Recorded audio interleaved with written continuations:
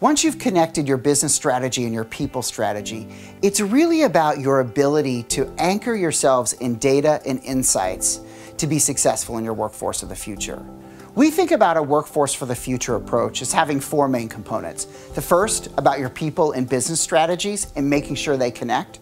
The second is about data, both current data and what you've predicted for your future. The third really ties into that data and how data informs the changes to your people strategy and your people programs.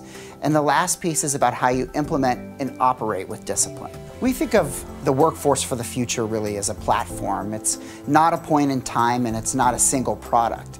By calling it a platform, we're trying to help clients understand that there are many entry points. There are things you can do right now, small steps, and that as you work toward your workforce of the future, it'll need constant iteration so that you make sure you stay competitive and that you compete to win in your industry.